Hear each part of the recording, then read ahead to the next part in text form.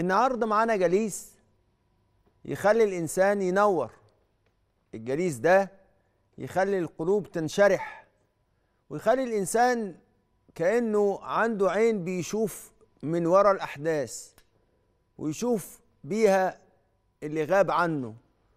وكمان يخلي الإنسان حاسس بالوسع والسعة. جليس ما تقعدش معاه غير وتستفيد حاجة جديدة. جليس دايما يخلي الإنسان في حالة تألق وفي حالة قدرة إن هو يبدع. جليس لما يعاشره الإنسان يحس إن كل يوم بيتجدد وكل يوم عنده حاجة إضافية في حياته. جليس بديع قوي جليس مؤنس كده. لما تقعد معاه كده يحسسك بقيمتك. الجليس ده جليس يخليك موصول مع الأنبياء. جليس يخليك كمان بتحب الأولياء. جليس كمان يطلعك للسما السبعة وتعرف اللي انت ما شفتوش. الجليس ده أكتر حاجة محتاجين لها في وقتنا ده. الجليس ده هو طلب العلم. طلب العلم يا سادة أبدع وأجمل حاجة ممكن يعيش ليها الإنسان ويعيش بيها الإنسان. طلب العلم ده حاجة فيها من اللذة ما يعرفهاش غير اللي قضى حياته في طلب العلم. وإحنا معانا شيخ من المشايخ اللي قضوا فترة طويلة من حياتهم في طلب العلم. معانا فضيلة الشيخ سعد الأزهري. السلام عليكم يا فضيلة الشيخ. عليكم السلام ورحمة الله وبركاته. يا دي الأنوار يا سيدنا وشيخنا. إزاي حضرتك يا شيخ سعد؟ والله الحمد لله رب العالمين بفضل دعوتكم يا مولانا. أنا عايز أكلمك على حبيب ليا وليك طلب العلم. خليني أسألك سؤال. إيه المجالات اللي أنت شايف إن هي مجالات الأليق بطلب العلم؟ بسم الله الرحمن الرحيم. الحمد لله رب العالمين والصلاة والسلام على سيدنا محمد وعلى آله وصحبه وسلم. يا سيدنا يعني في البداية أنا سعيد بتواجدي مع حضرتك يعني شيخي وأستاذي ومعلمي يعني نقف على بابكم في طلب العلم.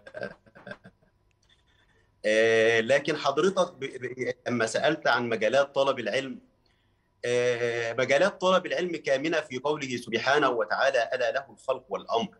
سبحانه وتعالى يعني جعل جناحي العلم كامنة في طلب العلوم على العموم العلوم الشرعية والعلوم غير الشرعية مم. لكن بالرغم من وجود علوم شرعية وعلوم غير شرعية إحنا بنسميها علوم حياتية اللي. بتتعلق بمسألة الخلق والعلوم الشرعية اللي بتتعلق اللي بتتعلق بمسألة الأمر اللي هو الوحي. الكامن في القرآن والسنة لكن بالرغم من هذا التنوع فلا يقتصر الإنسان على طلب العلوم الشرعية فقط إلا أن وجود العلوم الشرعية وعلوم والعلوم غير الشرعية كل علم له حكم خاص به. فنجد أن العلوم الشرعية منها ما هو فرض كفاية ومنه ما هو فرض عين. فرض عين يتوجب على الإنسان الذي مثلا تصدر الإفتاء يجب عليه علوم معينة ينبغي أن يبحث عنها وأن يتعلمها. فهناك علوم بالرغم أنها علوم شرعية فرض عين على الإنسان يتعلمها. شيخ سعد بدل بيمارس الصلاة. خليني يا شيخ سعد بدل أنت اتكلمت على إن العلوم في بعض الأحيان بتبقى فرض عين فهل في سن معين لطلب العلم؟ لا يوجد سن معين لطلب العلم. إحنا سيدنا النبي صلى الله عليه وسلم لما أنزل إليه الوحي أنزل إليه الوحي وهو في سن الكام في سن سن 40 40 سنة حينما قال له اقرأ باسم ربك الذي خلق. لما طلب منه القراءة طلب منه القراءة وهو في سن الأربعين. مم. إحنا عندنا أدوات لتحصيل العلم مل- ملهاش علاقة بسن. قال أخي لن تنال العلم إلا بستة سينبيك عن تأويلها ببيان. ذكاء وحرص واجتهاد وبلغة وصحبة أستاذ وطول زمان. دي ابيات ملهاش سيدنا. الإمام الشافعي. آه بالظبط كده. وإحنا عندنا في في الإمام السقاف جمع سبع كتب مفيدة كده. ذكر منها في بعض في أحد هذه الكتب آه، في فيما يتعلق بطلبة خاصة طلبة السادة الشافعية. ذكر أن العلم يحتاج إلى شيخ فتاح وكتب صحاح ومداومة وإلحاح وعقل رزاح الأربع حاجات دول طالما متوفرين في الإنسان عنده أدوات لطلب العلم. طيب يا عندنا سيدي. الشيخ فضيلة الشيخ سعد الشيخ خليني أسألك سؤال. بما إن العلم مفيش سن معين لطلبه أنت شايف إن في وقت الإنسان يتوقف فيه عن طلب العلم؟ في مرحلة من حياته يوجد. يتوقف فيها عن طلب العلم؟ لا يوجد مرحلة معينة في حياة الإنسان لأنه لا يرتبط بسن لكن ربما تحدث عليه طوارئ أمور طارئة بتمنعه ليس في طلب العلم. ربما يطلب العلم لكنه لا يستطيع أن يمارس العلم. إحنا حضرتك زي ما اتعلمنا من سيادتكم إحنا في في مثلا في طلب في في مسألة الحديث الشيخ يحصل ال- ال- العلم وبناء على قوله سبحانه وتعالى وقل رب زدني علما.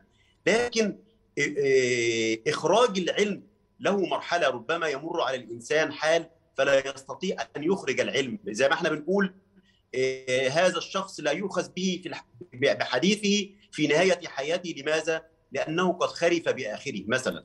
عنده حصل ليه أزمة فهو معينة فهو ما توقفش لكن عن العلم لكن توقف عن الأداء. يعني ما توقفش عن التحصيل لكن أيوة هيتوقف. عن الأداء لأن هو ما بقاش محل للأداء. سمعني يا شيخ نعم سعد؟ نعم يا سيدي. طيب وإحنا عندنا الشيخ سعد أنا أيوة سعيد. نعم يا سيدنا وإحنا عندنا الشيخ خالد الأزهري بدأ في طلب العلم وهو عنده 30 سنة وبقى وبل بالعكس بدأ من ألف باء. صحيح. و... صحيح فضيلة الشيخ. فضيلة الشيخ سعد أنا سعيد جدا جدا جدا إن حضرتك آه، شرفتنا ونورتنا بهذه المداخلة الطيبة اللي أسأل الله سبحانه وتعالى إن هي تكون في ميزان حسناتك